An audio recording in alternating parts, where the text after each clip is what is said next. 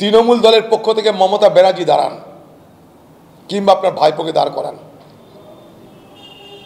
আর আপনি বলে দিন যে অধীর চৌধুরীকে না হারাতে পারলে রাজনীতি ছেড়ে দেবেন।